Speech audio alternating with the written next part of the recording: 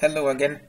This is now the, uh, I guess my third or fourth video about Raspberry Pi and Sailfish.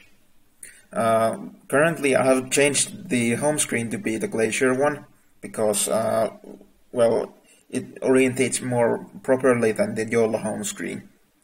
And as you can see now, this touchscreen works some kind, some sort of, and I can launch apps like the terminal. For some reason the touch inputs are not registered when using the touch screen in the applications, but in the home screens it works just fine. So, and well, I don't know if you can see it, but let me use the mouse now.